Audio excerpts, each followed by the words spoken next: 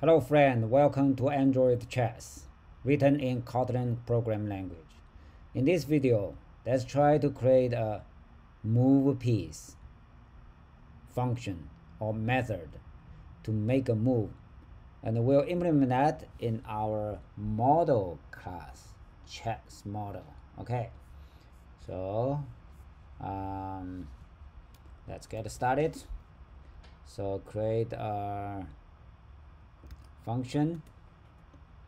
Move piece from column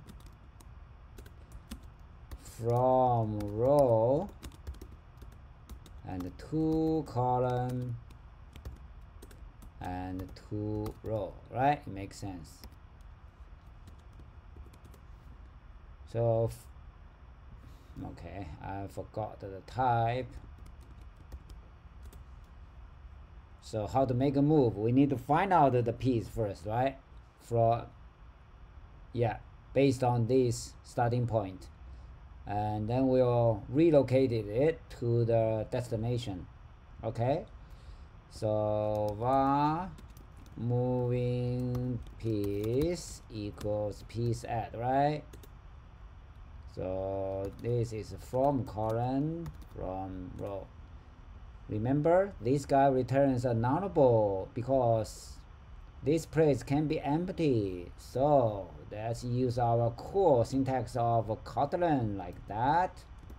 If it's nil, if it's null, we simply return. Otherwise, we can update its column to the two column and uh, its row to the destination row okay now what does it complain value cannot be reassigned change to var so here because we defined it as var okay? Now let's change it using the auto fix here. Change to var. And this guy saying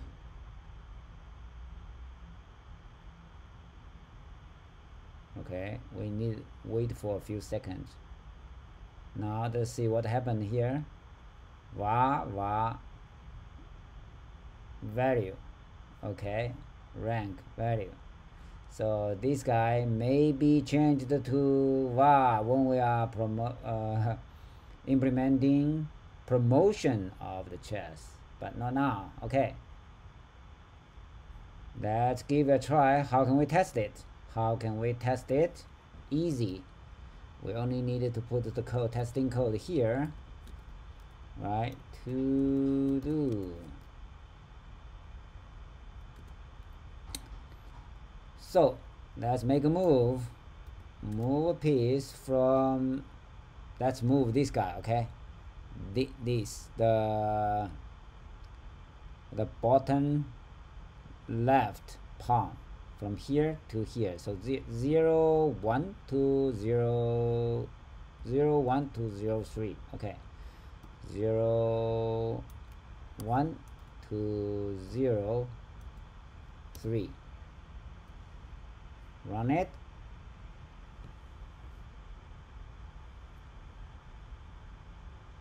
It works now what if we do capture right? What if we move this guy to for example here um, or here? Let's say this is one seven. Let's give it a try. One seven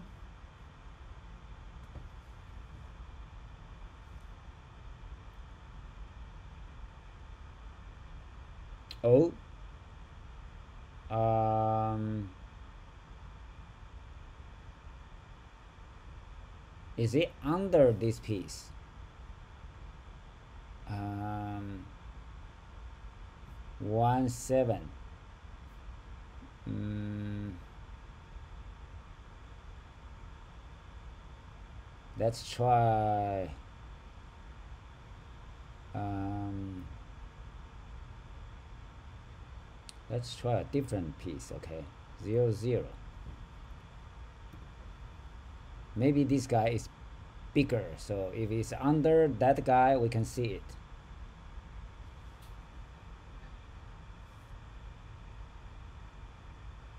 Yes. Um,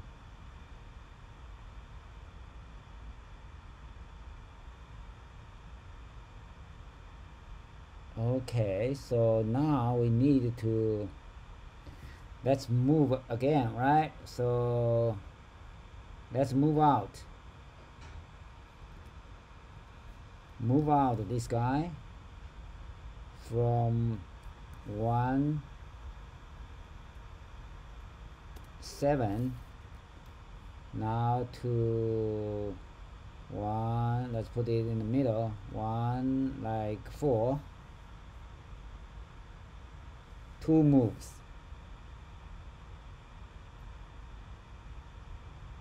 Yeah.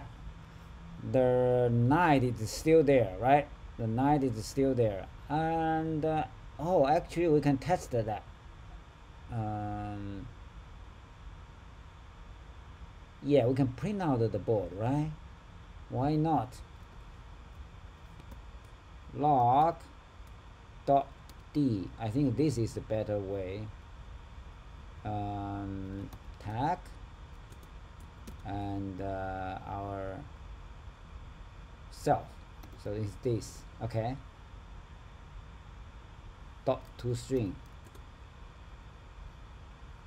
Do we need this? We can remove that right? Yeah. Now let's bring up our log cat and uh, delete that clean up that and uh,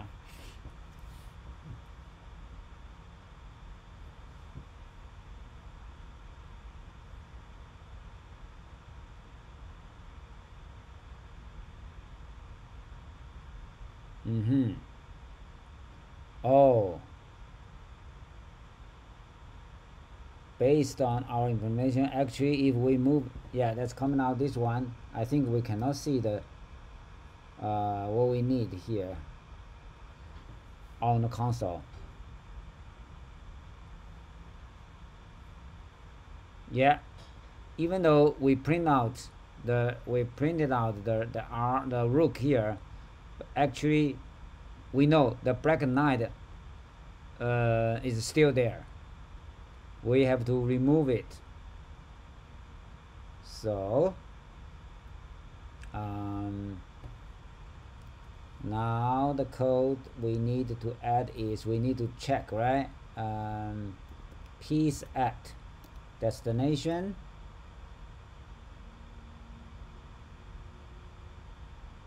Okay we need to do this check. Mm. yeah before we make the move. Otherwise uh, our new piece is already there. Yeah we have we have to do it here. Two row right? Um, if this one dot let okay now it's time to use the the it thing. So if there's a destination there's a target there then it will be the target right we'll remove that. So pieces box. Dot remove element it. Cool. So um, let's run it.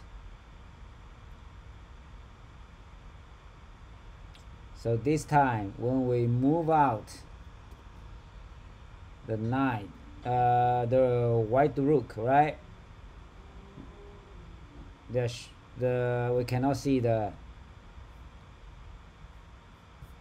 yeah it's empty now. That's great. And if we want to count right? Log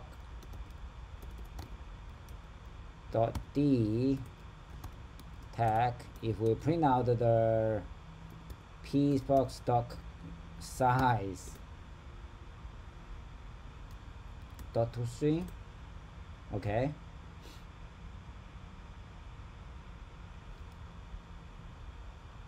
Or we can use something like um, this guy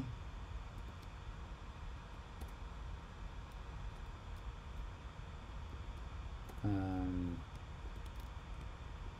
like that. So we can double check right? The original size it should be 32 and after we make our capture it should be 31 try it